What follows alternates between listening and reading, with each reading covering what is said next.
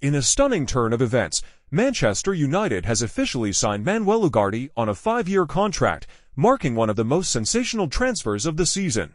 After a brief but impactful stint at PSG, where he displayed incredible versatility and defensive prowess, Ugarte is set to bring his talents to Old Trafford, sparking excitement among fans and pundits alike.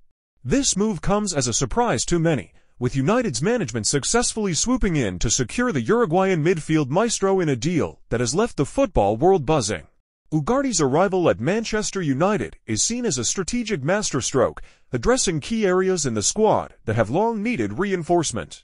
His ability to read the game, break up opposition attacks, and launch counterattacks will provide the Red Devils with the solidity they've been craving in the midfield.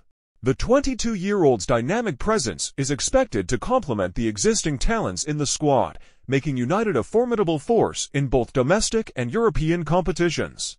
The five-year contract not only reflects the club's confidence in Ugarte's potential, but also signals a long-term commitment to building a squad capable of challenging for top honors. Fans are eagerly anticipating his debut, with hopes that he will be the missing piece in United's quest for glory. Could Ugarte be the key to unlocking Manchester United's true potential?